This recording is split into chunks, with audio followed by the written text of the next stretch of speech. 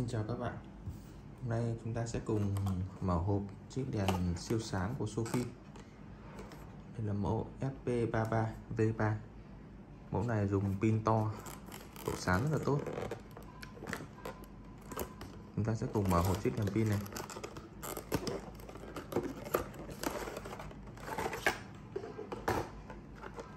Đi theo đèn sẽ có, Đây là hướng dẫn sử dụng. Dây treo và gioăng cao su. Ở đây người ta có dây sạc tai si để sạc cho đèn.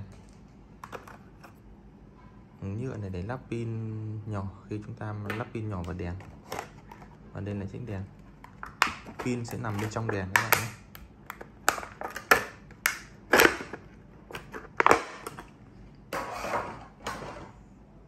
Sofin SP33V3 đèn cầm rất là vừa tay. Đèn này độ sáng ờ, 3500 lumen khá là mạnh. Đây là cái tấm chặn pin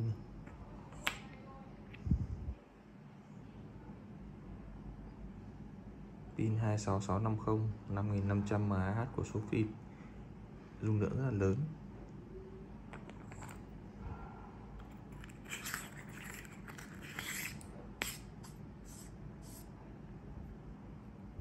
Nên là tân đèn nên là cổng sạc tai si, chúng ta sẽ cắm cái dây sạc vào đây.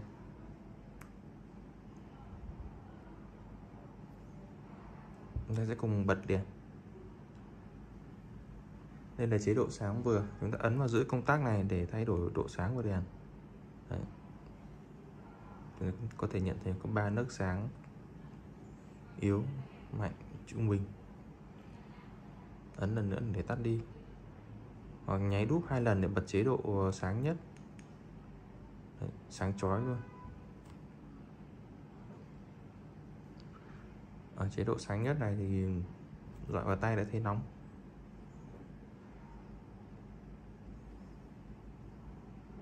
Chúng ta xem vào camera thì nó sẽ khó phân biệt được cái độ sáng.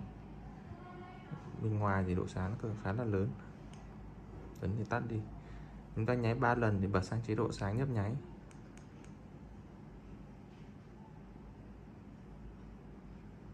Cho chút đèn đang nóng.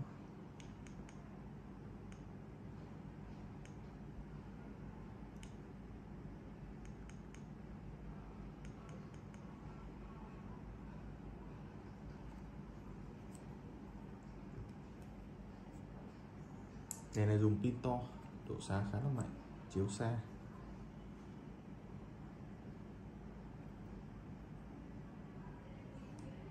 Cảm ơn các bạn đã theo dõi.